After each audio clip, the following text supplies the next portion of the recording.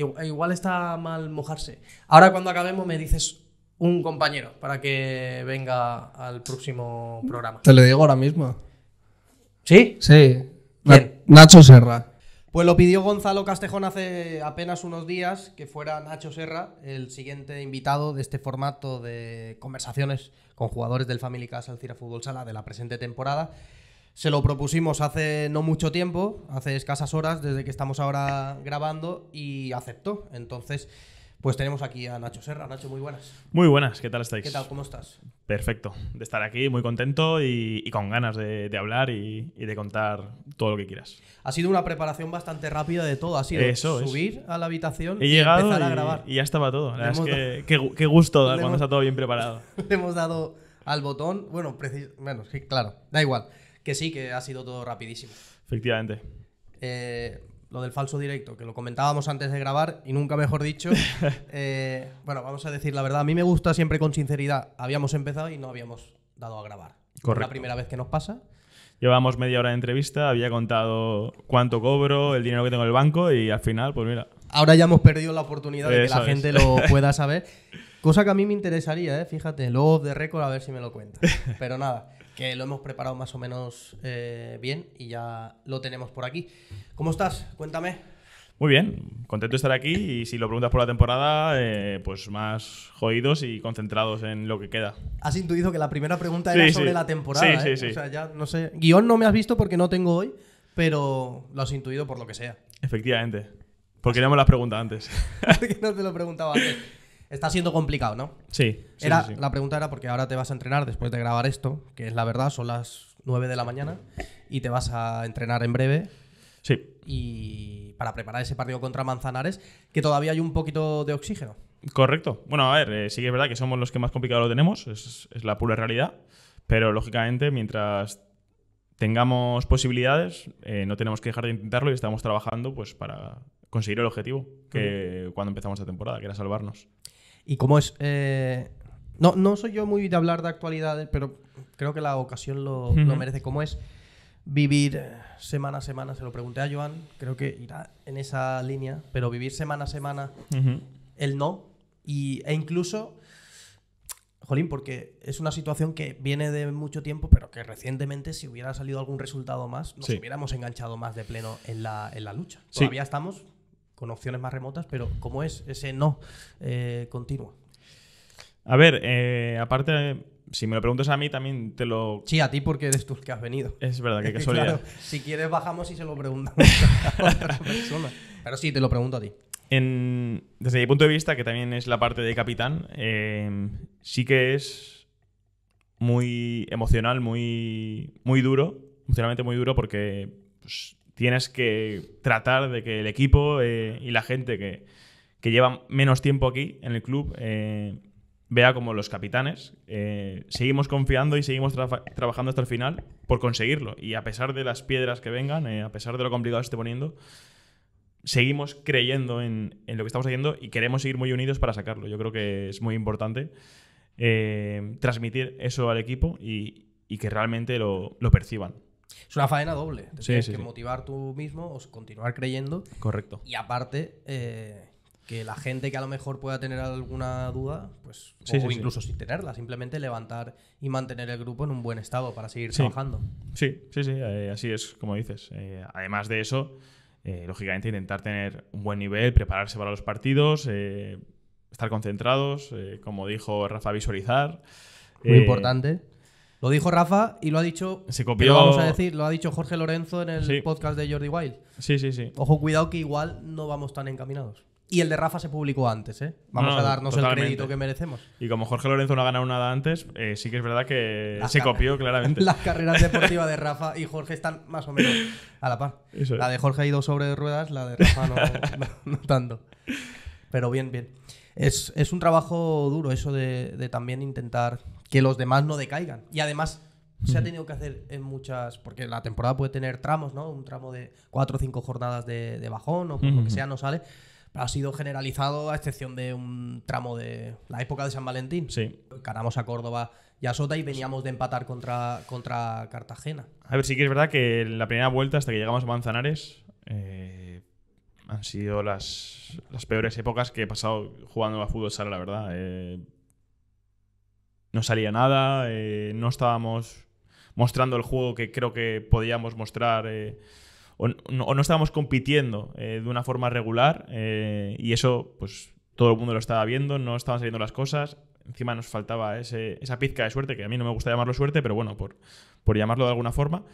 Em, y bueno, pues creo que lo bonito y, la, y el aprendizaje que nos llevamos es que, a pesar de lo complicado que está todo y, y lo difícil que estaba todo, seguimos creyendo. Encima vosotros hicisteis una muy buena campaña de, de marketing y de redes eh, con, con lo de San Judas. Y dio la casualidad que, pues que, que ahí conseguimos la primera victoria.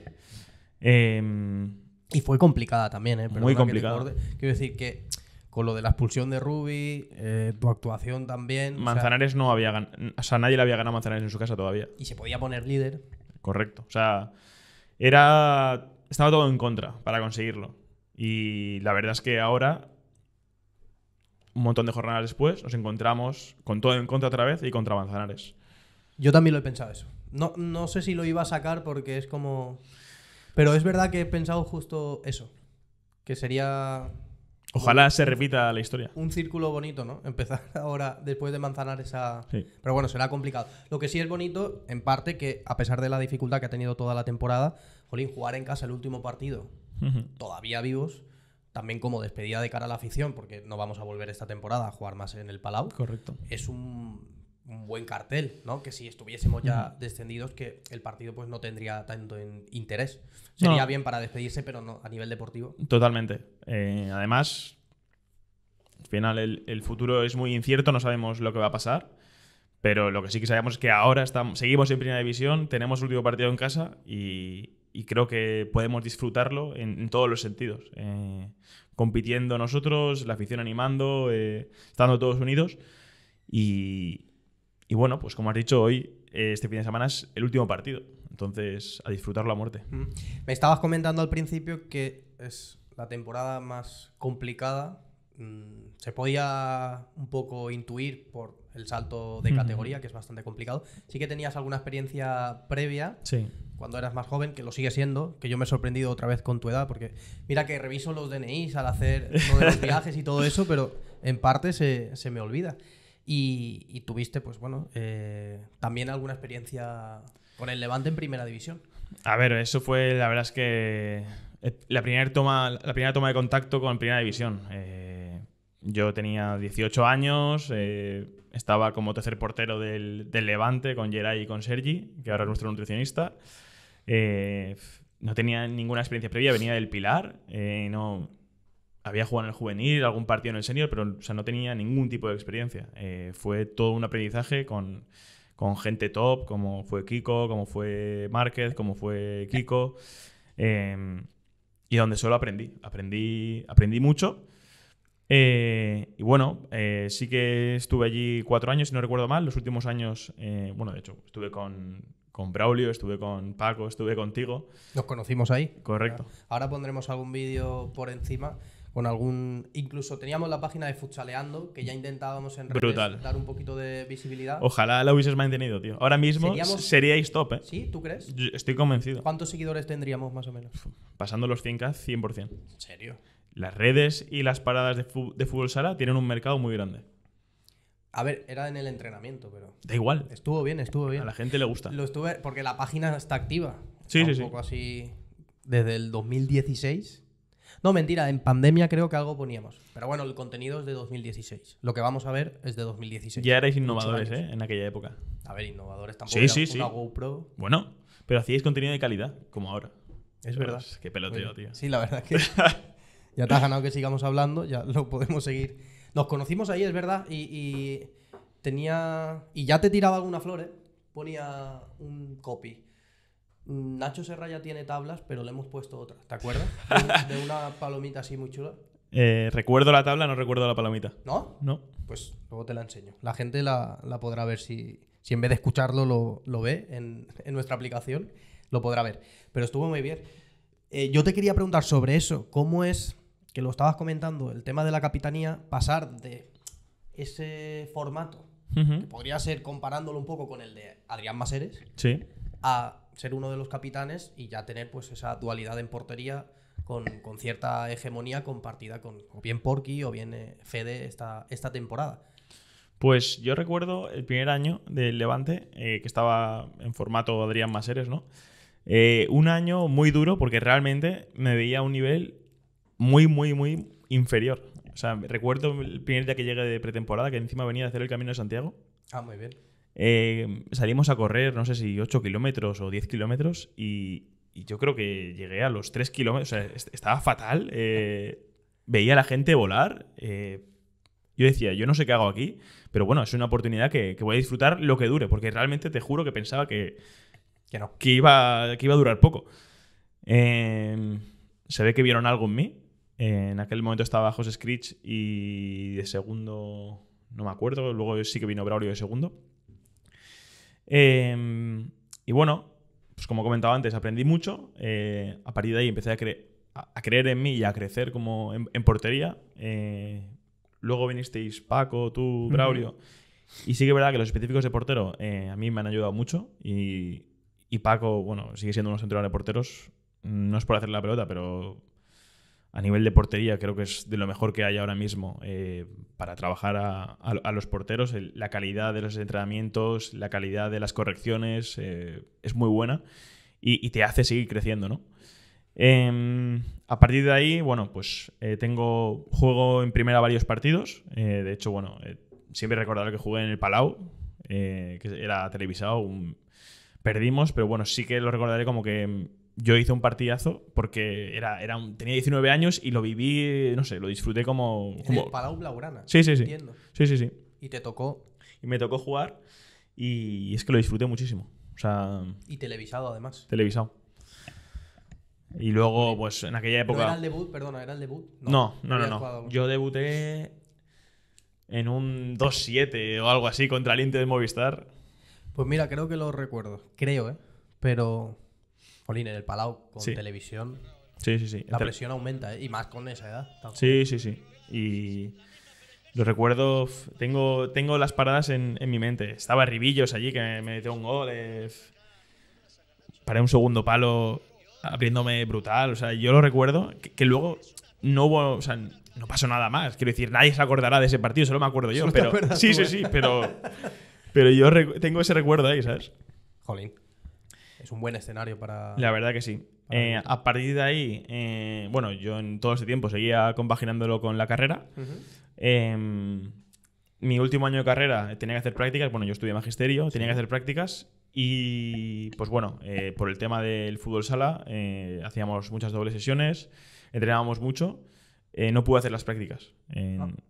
Entonces, bueno, ahí ya pues me vi la tesitura de que yo quería acabar la carrera.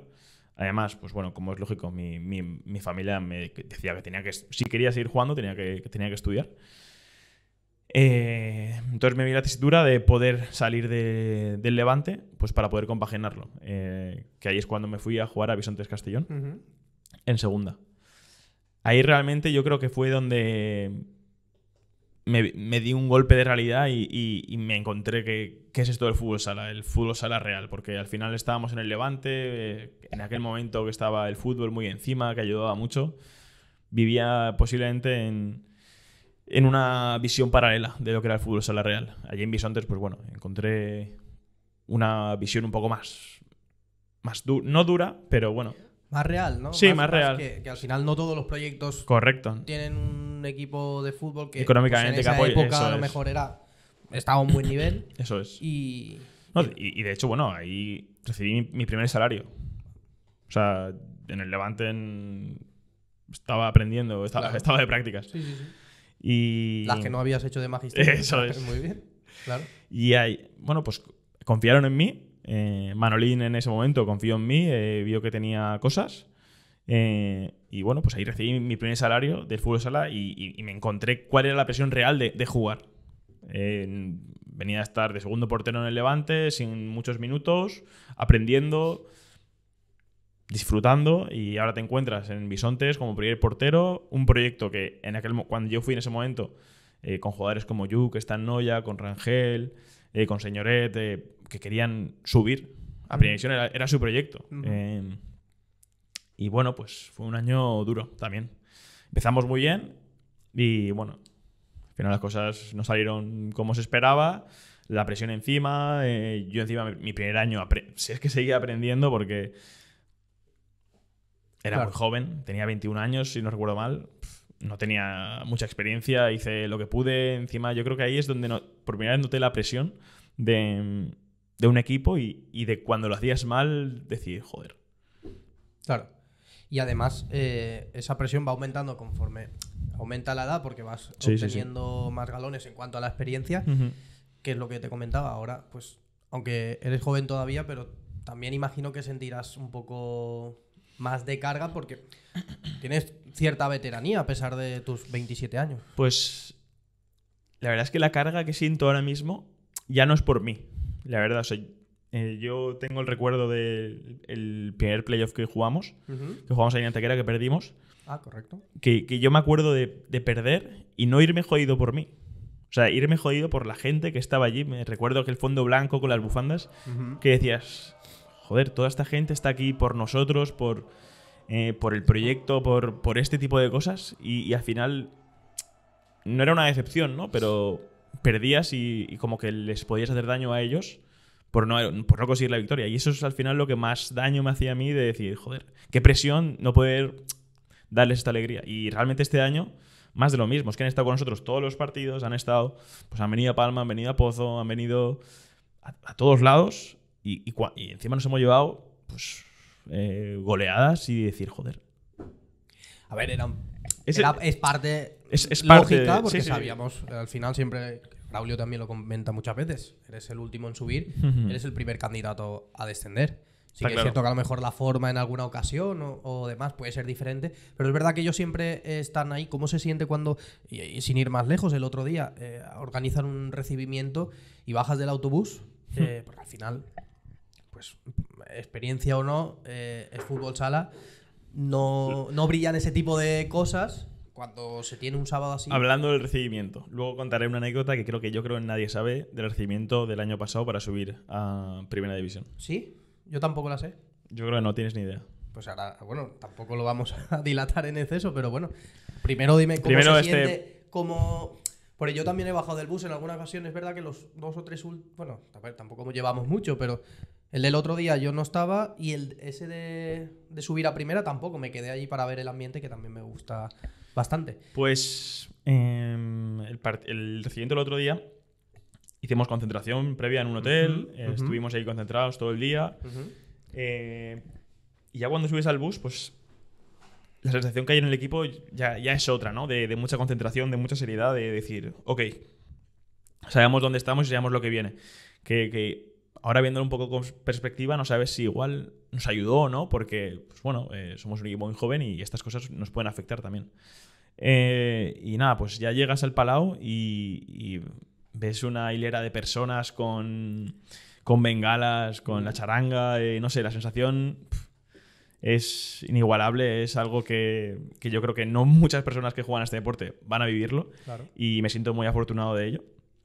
Y no sé, los pelos de- o sea, se te ponen los pelos de punta y, y entras al vestuario que, que quieres salir a jugar ya, porque es que saldrías ya sin, sin calentar y, y te los comerías. Eh, luego, bueno, pues no, no, no salió la cosa como, como queríamos, pero Creo que es un estímulo muy... mu- muy grande, muy grande, muy fuerte. Muy grande. Sí. Sí, es verdad. Hay vídeos que, que- que se ve. el- fue el del año pasado, que ahora me contarás esa anécdota, claro, porque tengo curiosidad. Lo podríamos dejar de Jai para el final de, de la conversación, pero no habrá que Yo me adapto a ti, lo que tú quieras. ir diciéndolo. Pero sí que es verdad que hay un vídeo que. eh, a ver, no hay 10.000 personas en la calle, Sí. quiero decir. Es verdad que luego hacemos las fotos muy. Sí, muy- lógicamente. muy- pero, pero sí que hay una densidad bastante alta y sobre todo en la, en la puerta. Y hay un vídeo de, de dentro del palau mientras entráis del partido contra Burela o del Ferrol, no recuerdo bien. Pero el de Ferrol también estuvo muy, estuvo muy eh, bien. Con dos vallas y eso era una locura. Sí, sí, sí. O sea, una- es, entrar, locura. es. Creo que fue el de Ferrol porque bajasteis enfrente de la puerta. Ahora sí que es verdad que lo estábamos haciendo más atrás para que la gente le dé Sí. tiempo a saludar, pero ese partido fue como eh, directamente a pocos metros de la puerta y era bajar y entrar y eso era una, una locura. Yo del de Burela he visto vídeos y son la hostia, porque yo no viví el recibimiento y luego te cuento por qué. Y del de Ferrol, eh, que también lo viví en, en persona, eh, fue. O sea, la sensación es que es muy. O sea, tú realmente no escuchas nada, la gente no para de quitarte cosas, es un bullicio muy grande. Y, y a medida que vas andando y, y te van gritando cosas, generalmente positivas, ¿no?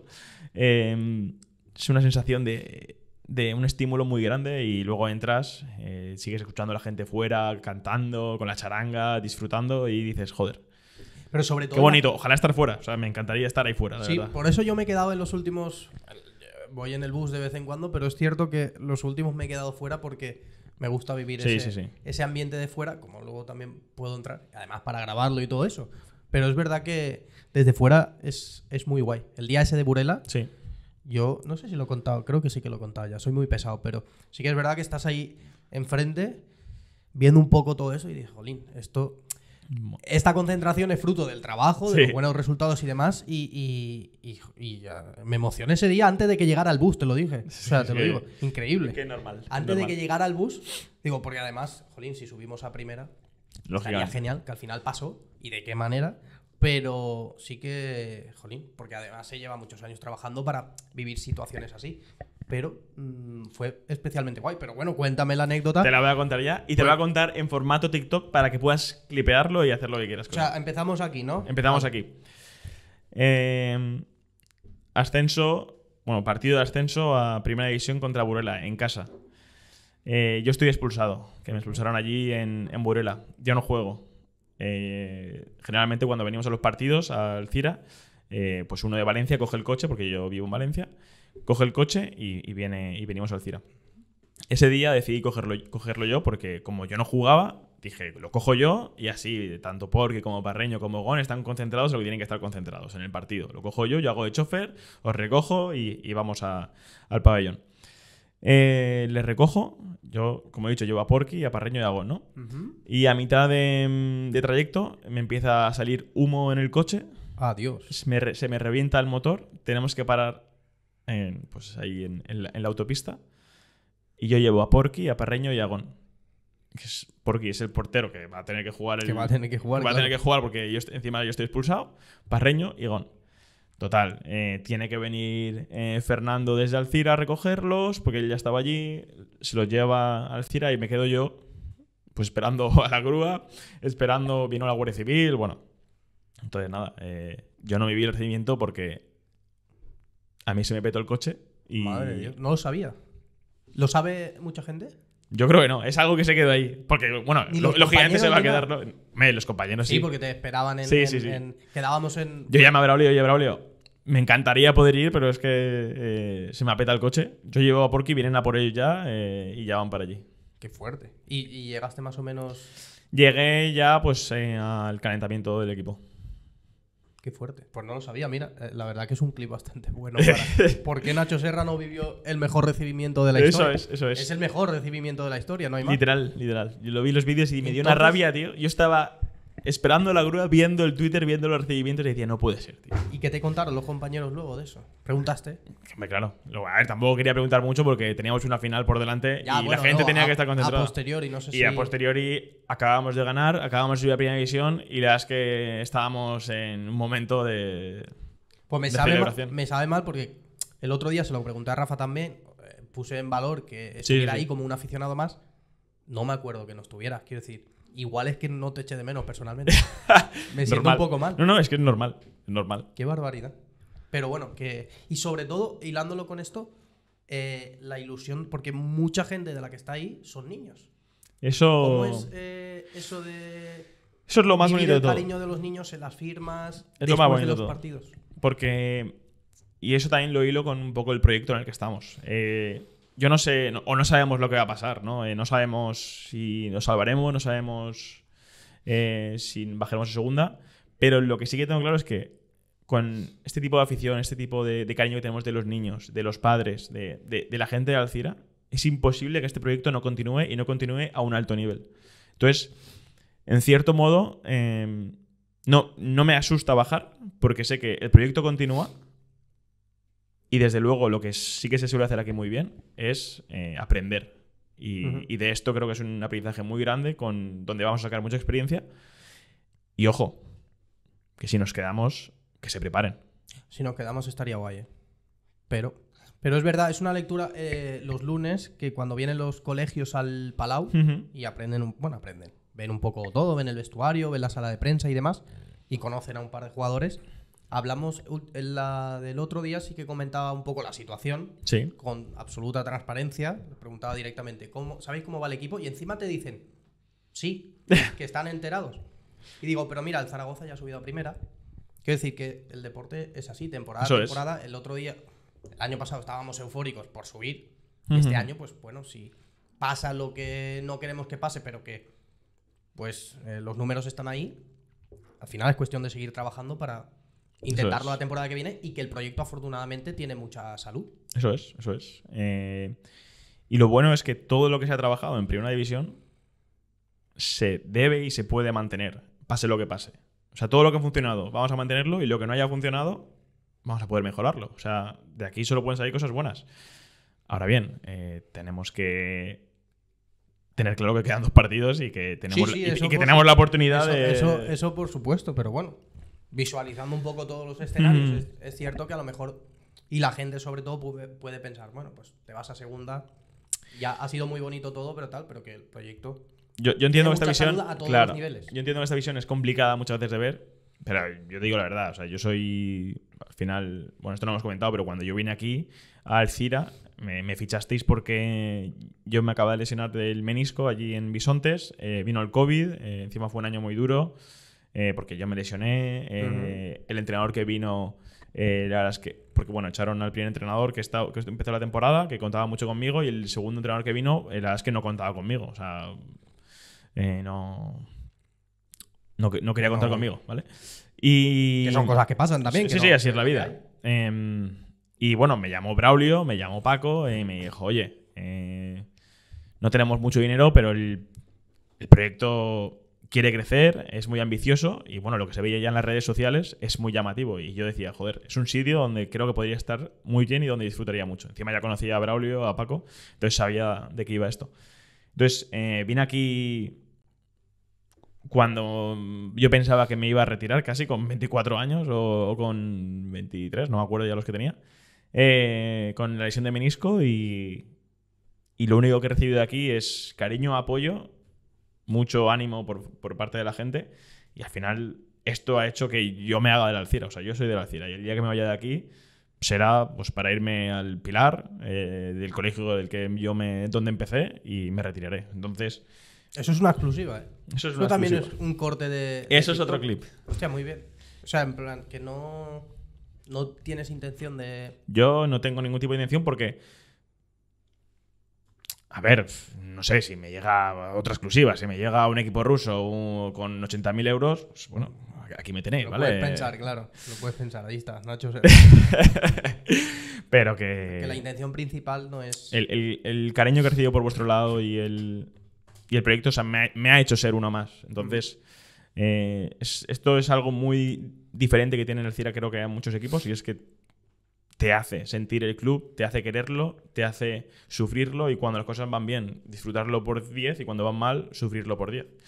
Entonces, pues la visión que también tengo es esa, que pase lo que pase, mi intención siempre va a ser lo mejor para el club y hay muchos aprendizajes que se pueden sacar. Entonces, eh, por ese lado, pues mi visión igual es más global y, con. Y, y- y no tan pesimista como puede ser igual desde fuera. Mm, Muy bien. Esa, esa perspectiva imagino que también va hilada a lo de la carrera la- laboral, que Ujú. es una cosa que has compaginado sobre todo en segunda división estos últimos años. Eh, pensando también un poco en esta conversación, eh, me venían recuerdos del playoff de la temporada pasada que llegamos un poco escasos de gasolina quizá con esas dos derrotas últimas que perdimos en Sevilla contra el Betis Sí. por 1-0, que perdimos en Ceuta, o sea, perdimos en casa contra Ceuta también, y que luego en el playoff, pues bueno, eh, fue todo bastante bien. En cinco partidos, con esos penaltis en Burela y tu expulsión, y la, la victoria a falta de 0,2 Sí. de la prórroga. Pero mm, que la gente, o mucha gente igual no lo sabe, pero sí que tiene un poco más de mérito por esa doble faceta de los jugadores, de algunos, de bastantes, que tenían que compaginar el fútbol sala con el trabajo y un caso de ellos era el tuyo. Efectivamente, bueno, al final, otro de los motivos por los que vine aquí también es porque Braulio me permitió compaginar el fútbol sala con, con mi trabajo, ¿no? Eh,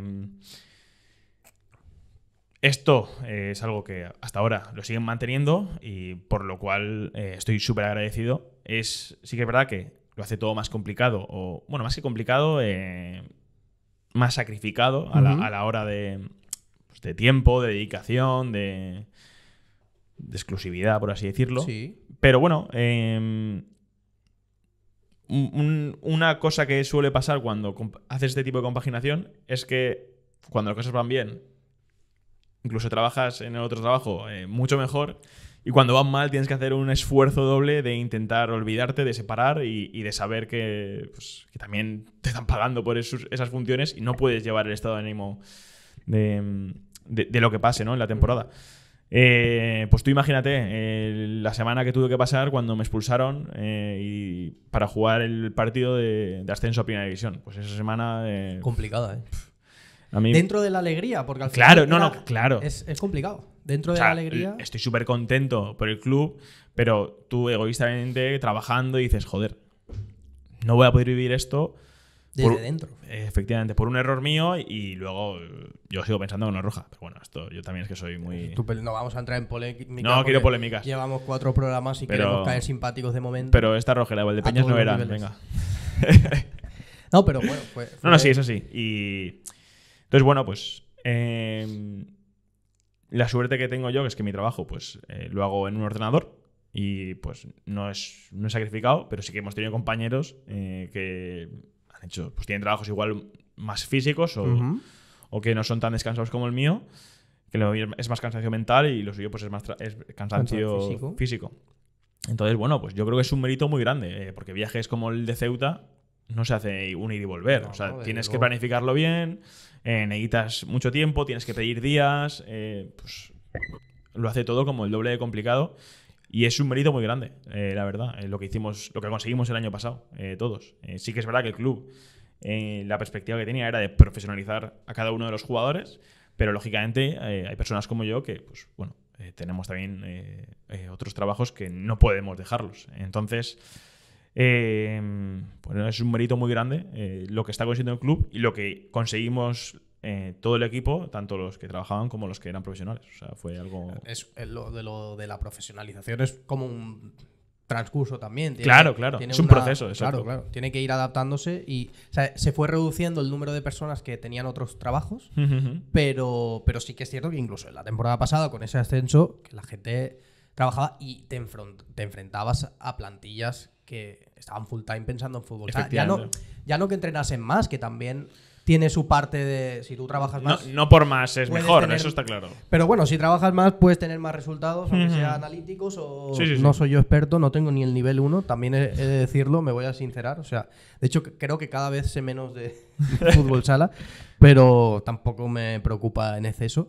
Pues ya tengo una carrera consolidadísima en todo esto. Ya está, pero, pero sí que es verdad que ya no por entrenar más, sino por estar focalizado en eso o por estar descansando mientras mm, una persona está en su puesto Eso de es. trabajo. O sea, sí, solo sí. con eso ya es una ventaja enorme. El tiempo de descanso, el tiempo de concentración, el tiempo de dedicación eh, para ir al gimnasio, para formarte, para pensar en, en lo que quieras, es muy grande y, se- y se nota muchísimo. Lógicamente nos- no éramos los únicos en segunda división que teníamos un club donde había gente que trabajaba, pero, de e- éramos una minoría. Y de los de, de los y de los de playoffs, arriba, sí, claro. efectivamente, de los de arriba. sí. Hablo sobre todo de la Sí, parcela sí, sí, de- sí. del playoff. Es que es una conversación totalmente. que tuve con un compañero de allí que dije, a ver, pues si es que es normal, si hay carencias o hay diferencias en cuanto al juego, ya a lo mejor por talento individual, por, porque un jugador sea mejor que otro, y sobre todo por eso, o sea, el, Pero, pero mira también lo que te digo, eso también ha provocado que la gente que está aquí también tenga ese sentimiento de pertenencia. Porque al final, pues tiene su trabajo aquí, sabe que no se va a ir y que estar aquí es un, es un regalo y es un sentimiento que pues también quieres cultivarlo y quieres trabajarlo para poder quedarte, ¿no? Entonces.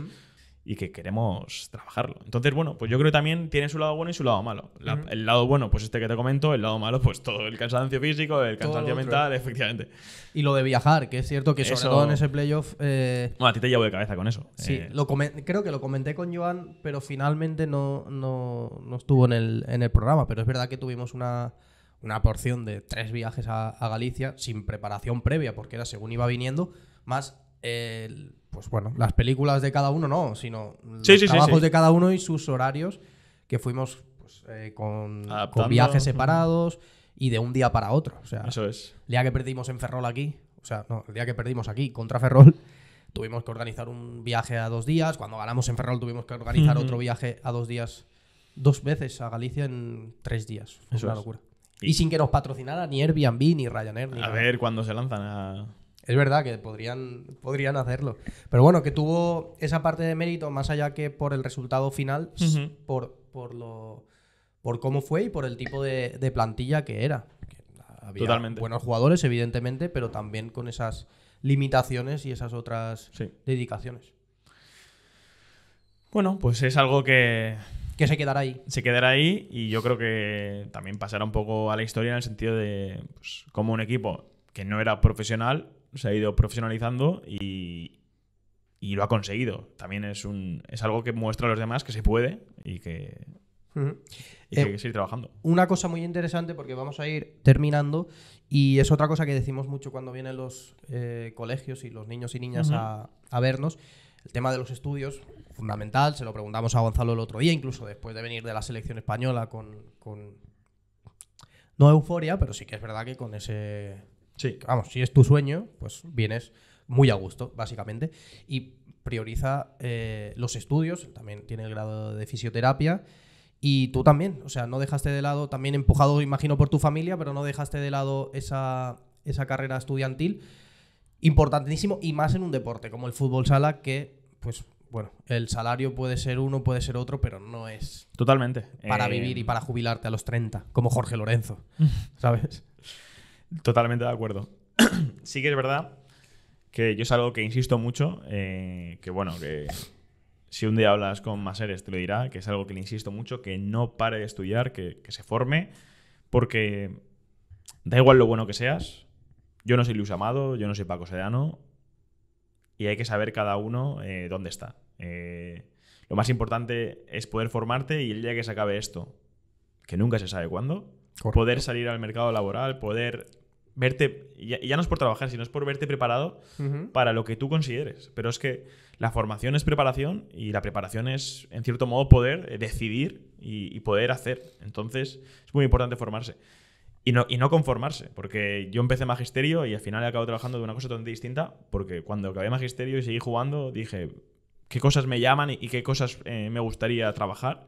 Y bueno, pues al final me he dedicado a la informática, me he dedicado a, a otro sector de la ciberseguridad. Entonces, la formación y, y, ahora que jugando a fútbol sala hay tiempo para formarse, eh, es algo esencial y que yo doy gracias a mi familia, que me insistió mucho, porque yo era la verdad es que un tío perrete para estudiar, me insistió mucho y me obligó mucho y bueno, pues gracias a ellos, a día de hoy eh, tengo un trabajo en el cual estoy muy contento, soy feliz y, y- que puedo vivir bien. Entonces, yo animo a la gente a que se forme y a que se prepare porque el prepararse es poder. Ujú.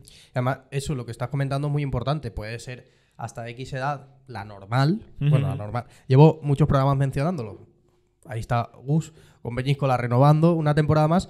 Pero que también por cualquier tipo de Sí. motivo, una lesión o alguna cosa, o que te pueda hacer dejarla. Y que igual- estabas hablando, que a lo mejor a los 23 Sí, sí, sí. O Yo ya lo 24. pensaba, efectivamente. si no tenías intención de moverte de la comunidad valenciana, entre otras cosas, por seguir tu camino en lo de la ciberseguridad, pues oye, eh, se termina. Sí. Y, y puedes dedicarte a lo que te gusta, más, más que nada.